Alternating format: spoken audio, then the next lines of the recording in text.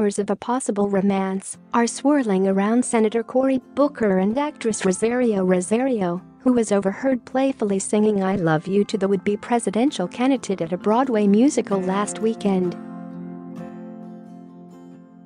The Democratic senator from New Jersey and the Rent star on Saturday attended a performance of the Tony Award-winning show Dear Evan Hansen, where they were joined by Booker's niece and Dawson's teenage daughter.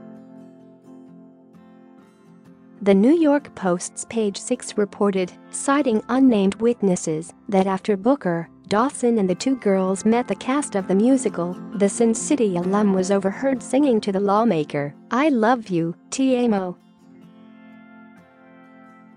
People magazine similarly reported, citing an onlooker backstage, that it was an impromptu moment and that Dawson made up the tune for her, I love you ditty on the spot.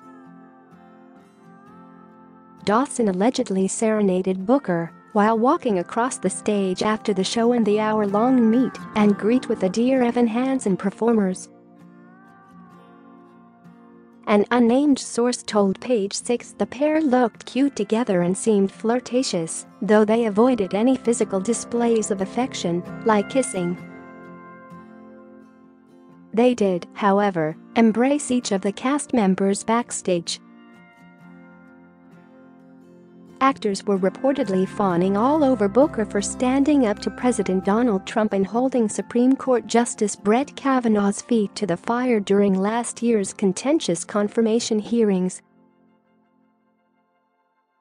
Two days before their Broadway outing, the New York Post reported that the 49-year-old politician and the 39-year-old actress were spotted at a Manhattan movie theater together Booker is believed to be considering a run for the White House in 2020, along with nearly two dozen other prominent Democrats, including former Vice President Joe Biden, outgoing Congressman Beto O'Rourke, Sins, Elizabeth Warren, Kirsten Gillibrand, Kamala Harris, Amy Klobuchar, and Bernie Sanders. Booker has never been married and has no children of his own.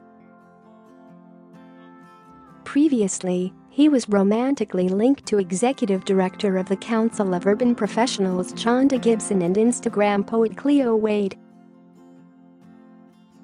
Dawson adopted a 12-year-old girl named Lola in 2014. She had briefly dated comedian Eric Andre, but the couple announced their split in November 2017.